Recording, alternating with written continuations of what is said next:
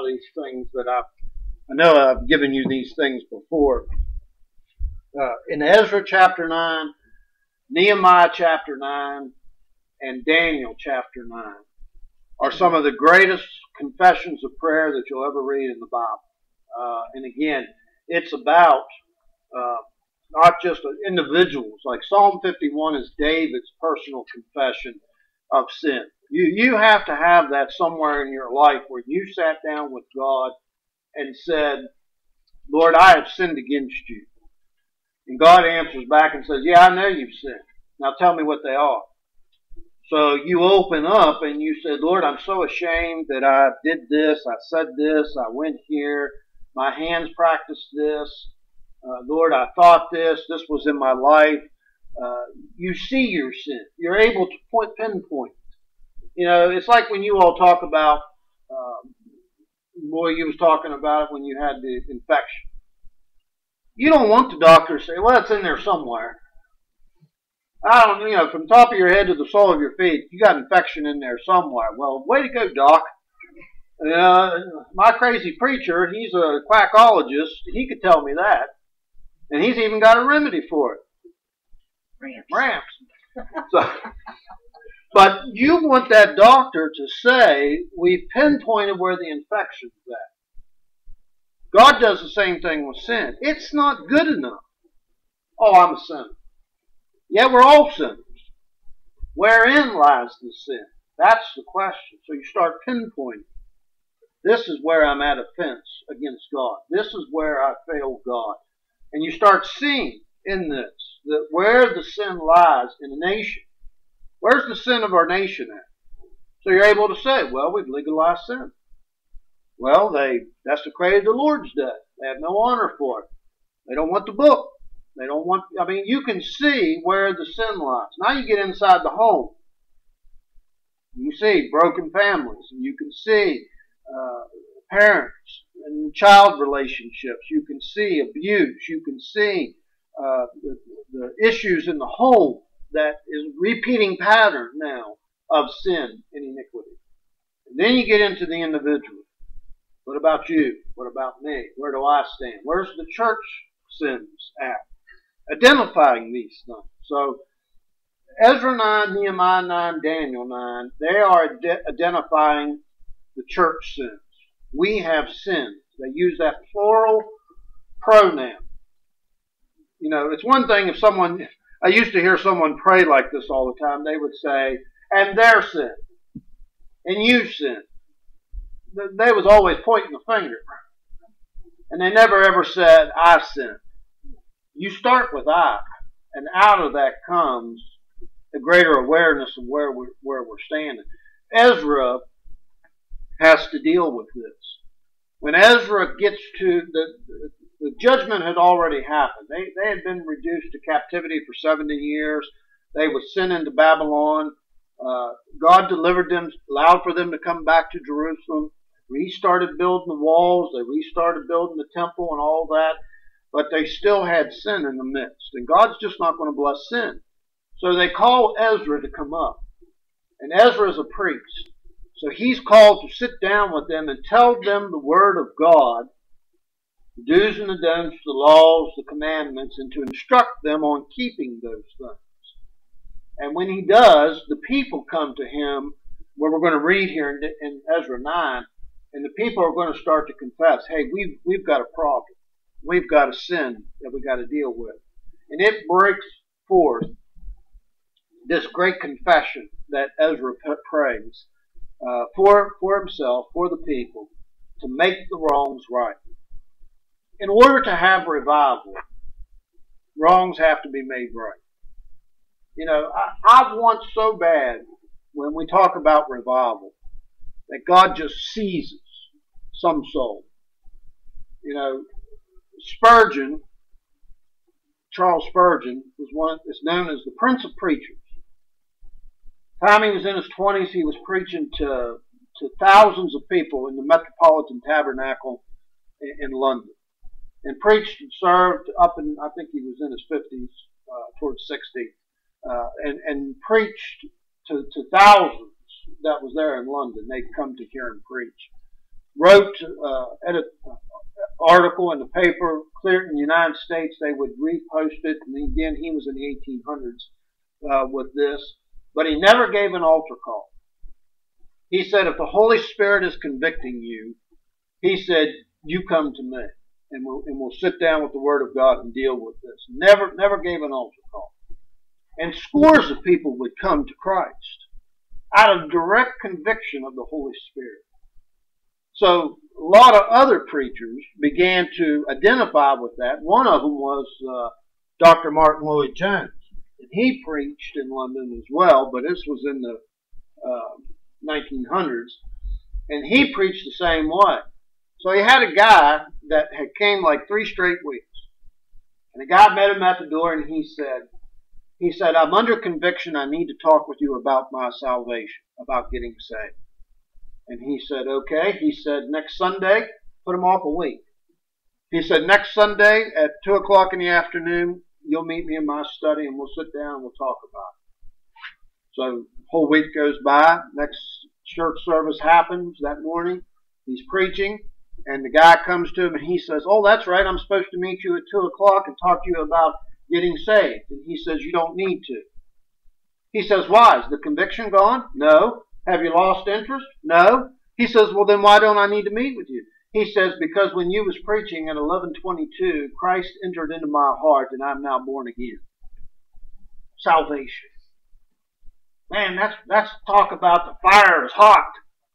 That ain't no man saying, let me tell you a story to jerk your emotions. Let me have Jeremy the juggler up here to entertain you for a while and say, hey, all you that want to get saved and, and skip hell and get to heaven, why don't you come make this decision and repeat after me? No, Christ entered in. You know how hard it is to find someone that says, let me tell you how I got saved. Let me tell you how I was born again. Let me tell you what Jesus did for me. It's hard, isn't it? They continue in their sins. We continue in our sins. I continue in my sins. There is no salvation from sin, deliverance from sin, apart from Christ. He's everything to us, isn't he? So therefore, when we see sin, we know it to be directly in conflict with God. And anytime I read about it, Anytime I see it, there are phrases, there are words, those word studies I was talking about. They grip me. They just draw my attention to them. And I'm going to point some of them out to you today here in Ezra 9 because, again, it's just one of the best prayers in all the Bible. And this is what, again, I would love to see. I don't want the conditions of this. I try to warn against this, but I do want the prayer of this. So I want to read this. I guess I got to start in verse 1. So it's a lengthy passage. So I'm going to read fast and you're going to listen fast. Right? Amen, Dan. Amen. Go ahead. So 9 1. Now when these things were done, the princes came to me, saying, The people of Israel and the priests and the Levites, they have not separated them, themselves from the people of the lands, doing according to their abominations, even of the Canaanites, Hittites, Perizzites, Jebusites, Termites. I always got through that. Ammonites, Moabites, Egyptians, and the Amorites. Okay? All those ites. You know the command. What was they supposed to do? Kill them all. Not, you have no business with them. They were supposed to destroy them all. They didn't destroy them all. And he said, I'm going to leave them now, and they're always going to be a thorn in your flesh. So here we are, 1,500 years later, 1,500 years later. What are we dealing with? The same issues because they didn't listen the first time. But here comes the princes and the people. Ezra, we've we've got sin in the, in the midst. You can't even get people to say that hardly anymore. We've got sin in the midst. We've got to deal with this. So verse 2, they have taken of their daughters for themselves and for their sons, so that the holy seed, they have mingled themselves with the people of those lands. Yea, the hand of the princes and the rulers, they have been chief in this trespass. So what's the sin? What's the sin they, they just said? They took the wives. You were not supposed to marry.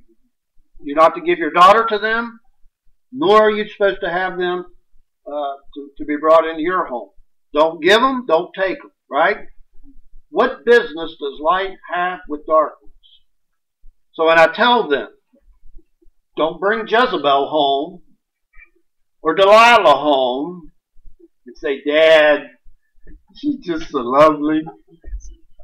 And I say, she's Jezebel. Don't look for my blessing. Now I, I'm the I'm the cad. I'm the evil man when I act this way because people said, "Oh, but you gotta love them." Yeah, I I know what happens when you mix the holy seed. Nothing but sorrow. Go do it. Yes, Father, whatever you say, Father, I will obey you, Father. You know, that's what I want, but that's not what I get. So that's the sin. Don't don't mingle with the world. What business does light have with dark? What business does Christ have with Belial? What business does the children of God have with the children of this world? Paul goes through this in Corinthians. So again, Paul, Paul's another 600 years later. So for 2,000 years of biblical history, we've been dealing with the same problem. And I hate to say it, but in 2017, we're still dealing with it. I grew up watching it. I've watched in the churches. I've watched a wife, she could come, but her husband would never come.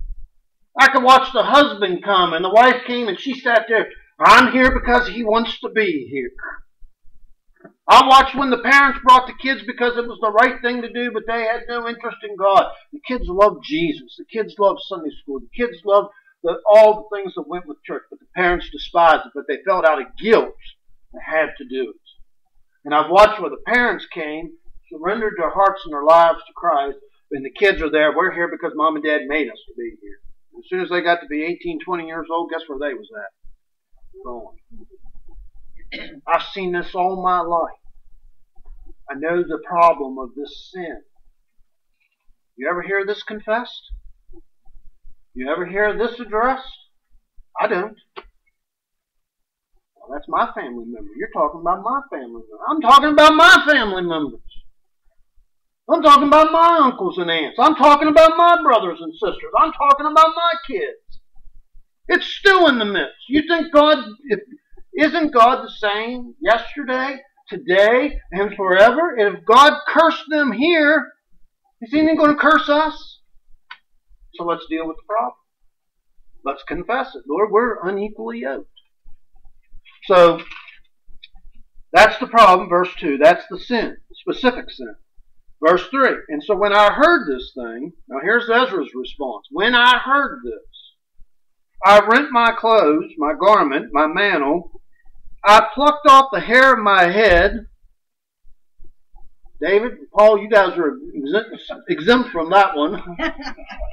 I plucked off the hair of my head and my beard.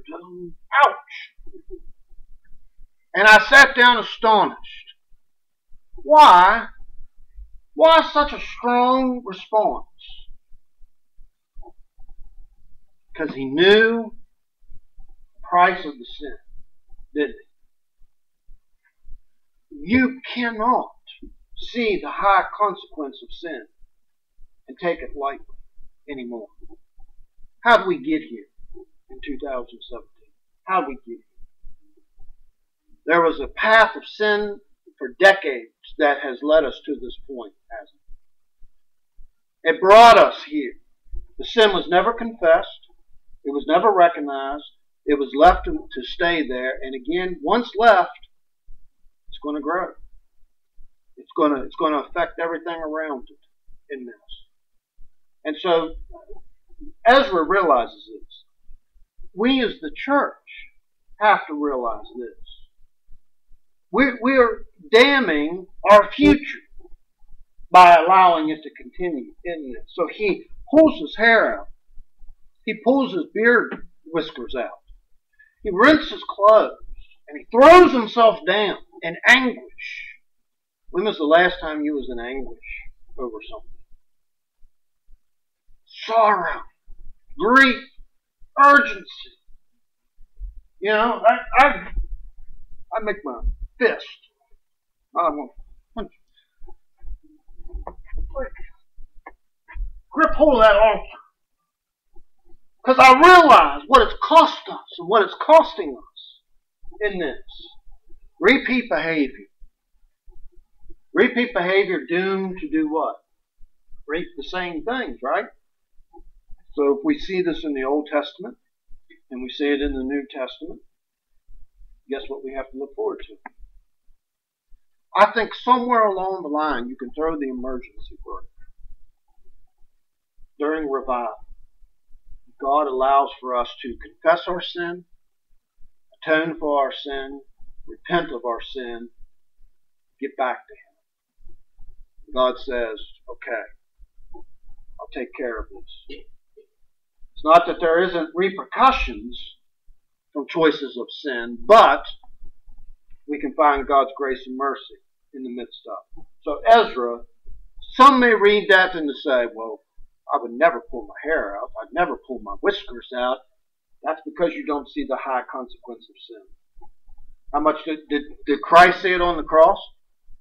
Did he know the beating that he took was for the sins of the world?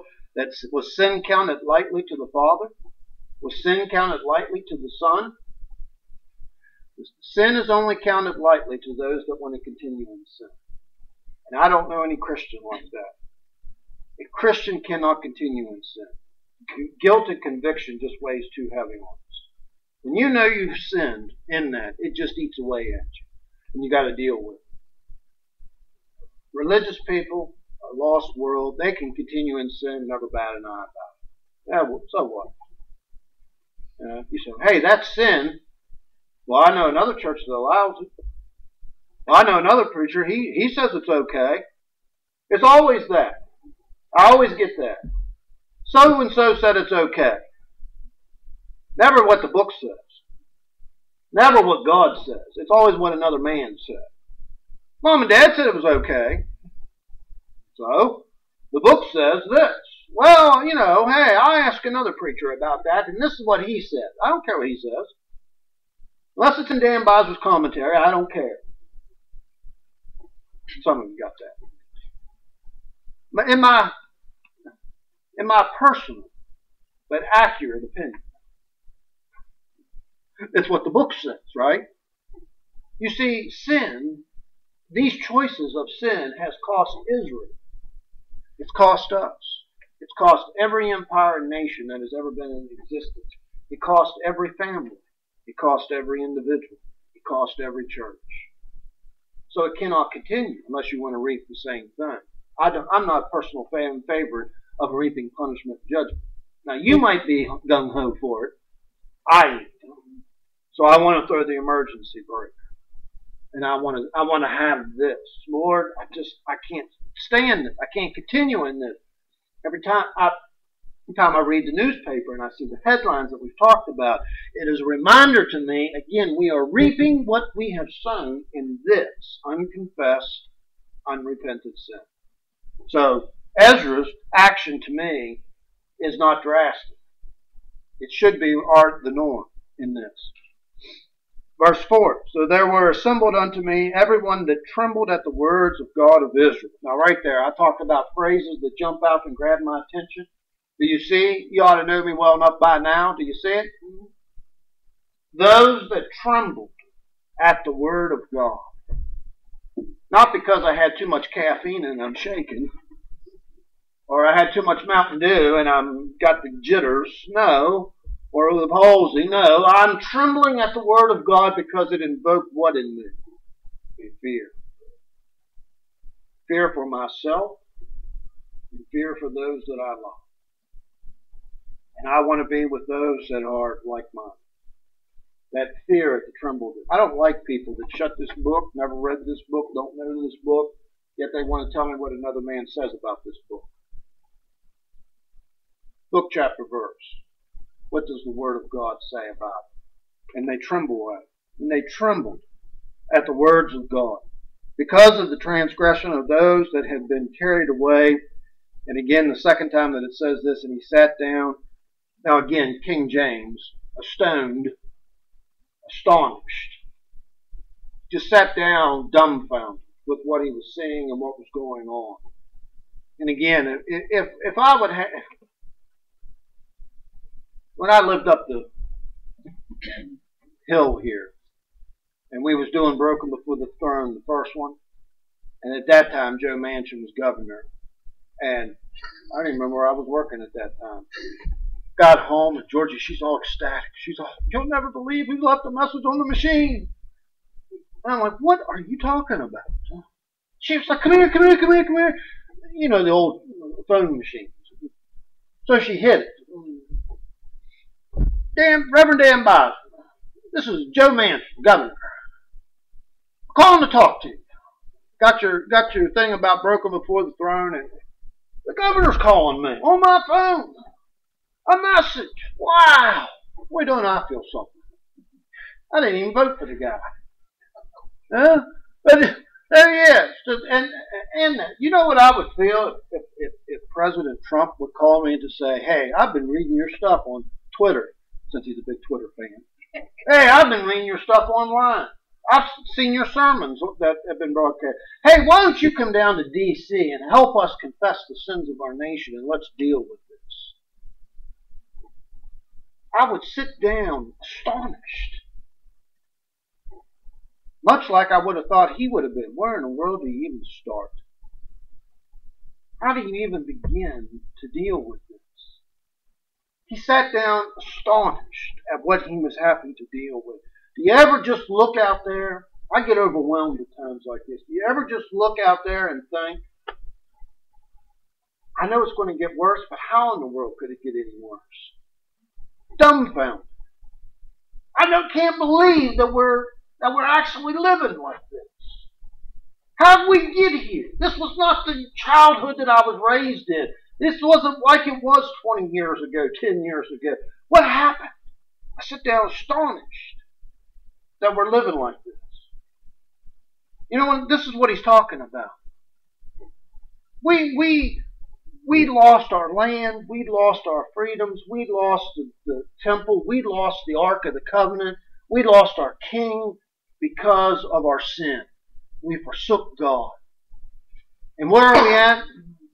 He sits down astonished and says, We're playing with the same fire that burned us before. They hadn't got it, so he sat down astonished. Doomed to repeat history is what he's talking about here. So verse 7, or verse 6, and so he, I'm sorry, verse 5, I'll get right here in a minute. He sat down astonished until the evening sacrifice. And at the evening sacrifice, he says, And I arose from my heaviness. A great weight lays upon any individual that understands this. And he says, Having rent my garment and my mantle, I fell upon my knees, humility. I spread out my hands unto the Lord my God, and I said, So this is where his prayer begins. He's now beginning to pray. Oh my God, I am ashamed and I blush to lift up my face to you. My God, for our iniquities are increased over our head, and our trespass it is grown up into the heavens. Can't we say the same thing? Isn't this a repeat of this? Since the days of our fathers have we been in great trespass unto this day. And for our iniquities have we, our kings, our priests, been delivered into the hand of the kings of the lands, to the sword, to captivity, to spoil, to confusion of face, as it is this day. Twice in that verse, by the way, is this day. And now for a little space. Grace has been shown from the Lord our God to leave us a remnant to escape, to give us a nail in his holy place, that our God may lighten our eyes and give us a little reviving in our bondage. The two littles there in that verse. Little space, little reviving. For we are bondmen Yet our God has not forsaken us in our bondage, but he has extended mercy unto us in the sight of the kings of Persia to give us a reviving. Revive us again, O Lord, to set up the house of our God, to repair the desolations thereof, to give us a wall in Judah and in Jerusalem. And now, O our God, what shall we say after this? We have forsaken your commandments which thou hast commanded by your servants the prophets, this land unto which we go to possess it, is an unclean land. filthiness of the people of the land. With their abominations they have filled it from one end to another with their uncleanness. Now therefore, give not your daughters unto their sons, neither take their daughters unto your sons, nor seek their peace or their wealth forever, that you may be strong and eat the good of the land, and leave it for an inheritance for your children forever. and after all that has come upon us for our evil deeds, for our great trespass, seeing that our God has punished us less than we actually deserve for our iniquities, and has given us such deliverance as this, should we again break the commandment, join in affinity with the people of these abominations? Wouldst not thou be angry with us till you had consumed us, so that there should be no remedy, nor escape? O Lord God of Israel, you are righteous, for we remain yet escaped as it is this day. Behold, we are before you in our trespasses, for we cannot stand before you because of all this. Chapter 10, verse 1. Now when Ezra had prayed, when he had confessed, weeping, casting himself down before the house of God, there assembled unto him out of Israel a great congregation, very great congregation of men and women and children. And their response, and the people wept very sore. You go down through each part of that, chapter 9, into chapter 10. The responses, the words, the phrases, identifying, same thing. God in mercy extends to them a little bit of grace, a little bit of revival. I sent down to Family Research Council down in D.C and uh, Pierre Bynum, who's the chaplain down there, wrote me back. I had sent to them. God has cut out a period of time for us right now. A short window, a little little season of grace, a little season of, of opportunity that we could repent, get back to God as we ought to. Now again, I don't expect the government to do it. I, I can't foresee why we would expect the government to. I don't expect for the county commissioners to do it, or the governor, or anybody else to do it. I expect the church to do it. I expect us to do it. That we come to Him, realizing our great trespass, realizing what we're living in the midst of. Again, you look at your family. You see your neighbors. What are they doing right now? What did they do today? Did they worship the Lord?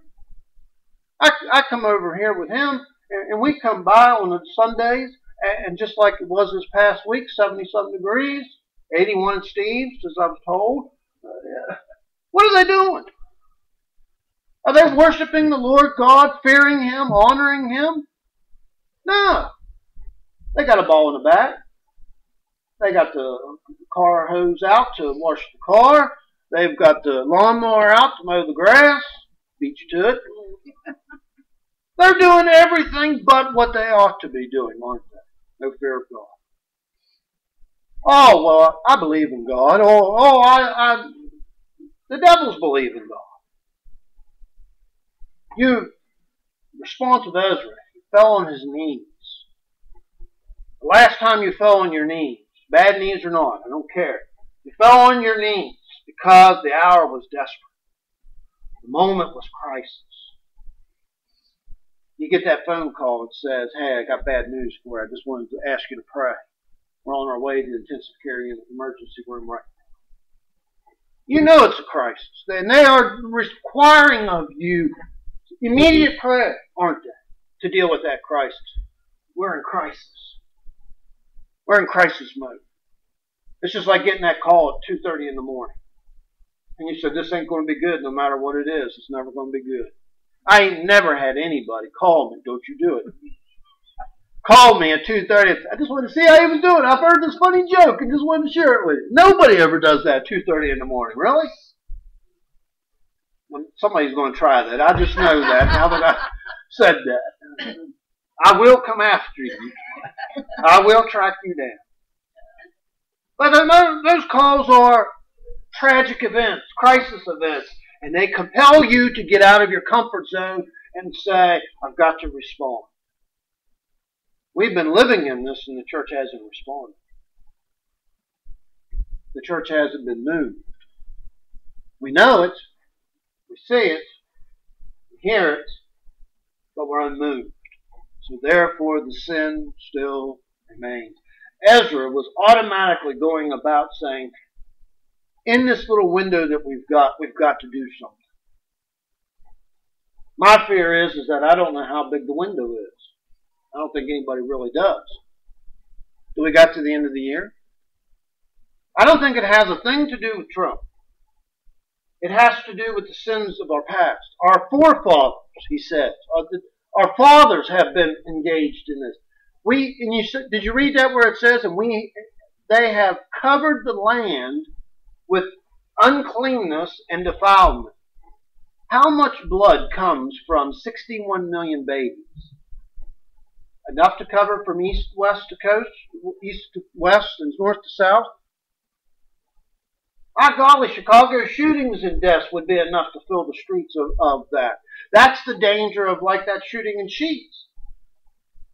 You have, as I said, every year, if you have blood on the ground, God requires the blood at somebody's hands, doesn't it? That's Old Testament. Thou shalt not kill. And if you do kill, then you reap what you chose to do, right? Well, they're killing, but they're not reaping what they punishment. Therefore, the sin still remains. You said, but I've never committed abortion. I've never murdered anybody. But we live in a land that has. We live next to people. I, I would be, if you would have revival break out, you would see massive amounts uh, of people in the church, Christians, that have lived under the regret and the shame of abortions for decades, never confessed it, because they were scared about where they would be uh, labeled in that. But they would confess, I'm guilty of this. When revivals broke out in China and Welsh revival and all the others that I was talking about earlier, uh, leaning before the, the great wars and those kind of things that happened, there was always great depths of sin that were confessed that nobody knew about but that individual, but they had to confess it, they had to get rid of it. Now the difference is, like out in Wheaton, Illinois, Richard Owen Roberts told me that in, in the 1980s, a revival broke out, a spirit of sorrow broke out, like what we're reading about here. It was a chapel service. And they had a microphone set up. So when the preacher preached the sermon, all these students started coming forward. And they were confessing. I've got drugs back in my dorm. I've got pornography back in my dorm. And, and they went and they got all that stuff and the, and the hard liquor and the beer and all those things. This was a Christian college. I mean, if this was a Christian college and these were the future ministers of the churches in the 1980s, and they brought their stuff, you know, those, uh, not, not normal trash bags, but uh, contractor trash bags, you know, bigger, heavier things, they filled dozens of those things with all the paraphernalia of sin that was in the locker room, in, in the locker rooms and the dorms. Oh, I've confessed my sin. I've, I've shared, and again, they felt great victory. Everybody celebrating. And you said, all revivals broke out. Five months later, they're right back doing what they was doing. That's not revival. That's an emotional moment that they wanted to cleanse themselves. You see, revival keeps you in it. It's a lifelong pursuit. When you read about those revivals, like in 1850s that I was talking about, in the Welsh revival, 80% of all converts served out the rest of their days in oneness with the Lord, and they never returned to their sins. High percentage of people that come to Christ in the right way, Ezra, confessing the sin, resolving the sin, taking care of the sin, they never go back to it. When it becomes a man, emotional charge, they'll go back to it. I don't want nothing to do with that. I want this. Where the sin is laid out, sin is dealt with, it's never going back to. The idea of this is, is that let God do what only God can do in this. You can't legislate, judicialize, that's not a word, is it? I just made it up.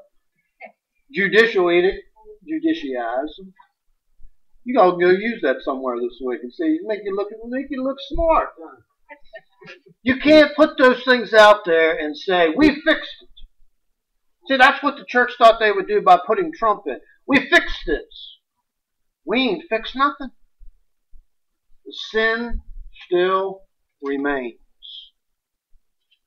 So when I pick up the paper and I see a transgender help me, boy, girl, a boy wrestling in a girls wrestling tournament because he thought she he thought she was a girl and won the state championship. And you're thinking, how'd we get here? That's when I sit down astonished. One, that they would allow it. Two, that somewhere somebody would say, wait a minute, that ain't right. But they blink at it, well, that's someone's child. Well, that's, that's, that's okay. It's all right. Don't get upset, Dan. Well, you get upset because God's upset. And you realize the high consequences of sins in a society. And that you realize is that that incident is going to be a catalyst for how many more hundreds and thousands coming behind. That's the reason that they never like to tout suicides in a community. Why?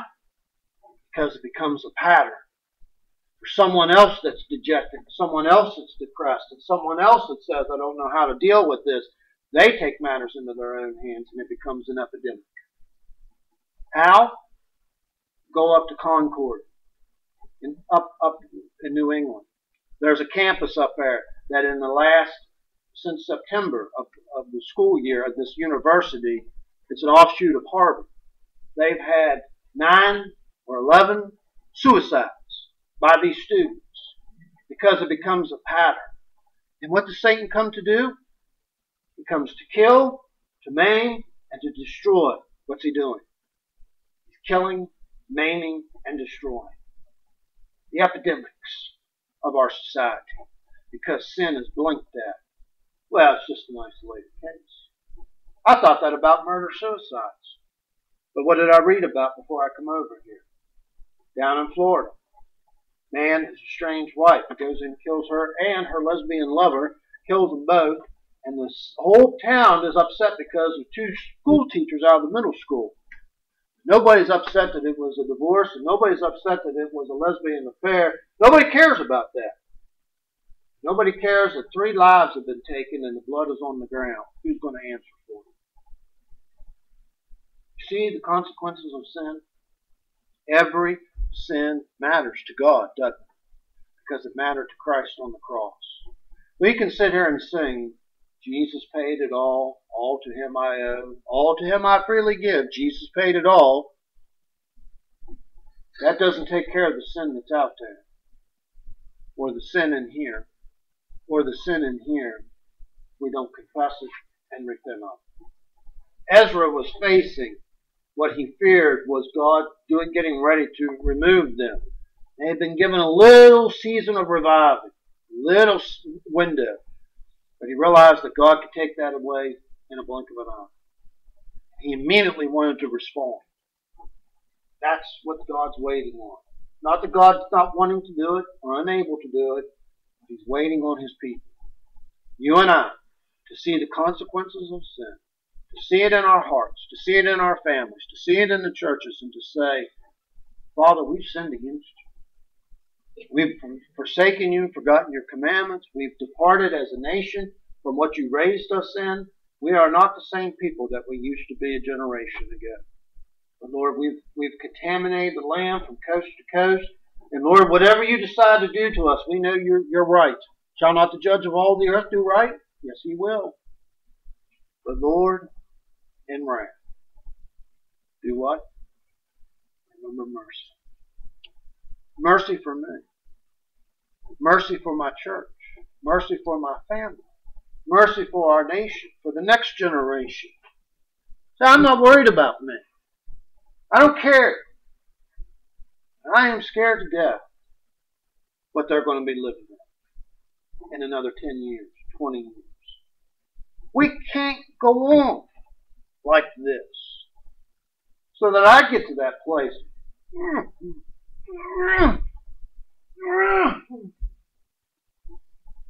Anger.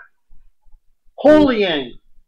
It's not an anger about me just putting a hole through the wall or through him. It ain't that. It's the holy anger that God has in all of his people, that we know the consequences. The wages of sin, death. That, what are we seeing? Aren't, what, what are we seeing? Death and die, death and die, death and die, death and die. Throw the emergency brake. In the season that God has given to us.